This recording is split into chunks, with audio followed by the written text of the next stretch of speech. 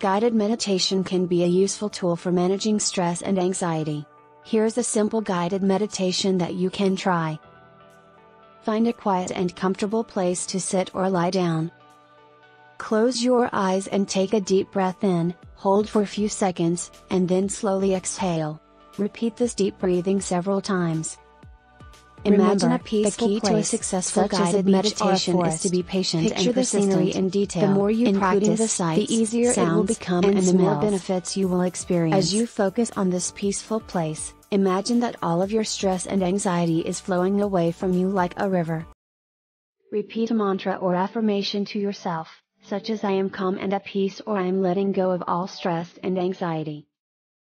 Continue to focus on your peaceful place and the positive affirmation for several minutes.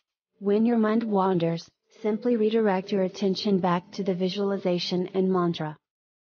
When you are ready, slowly open your eyes. Take a few deep breaths, and then return to your day, feeling more relaxed and centered.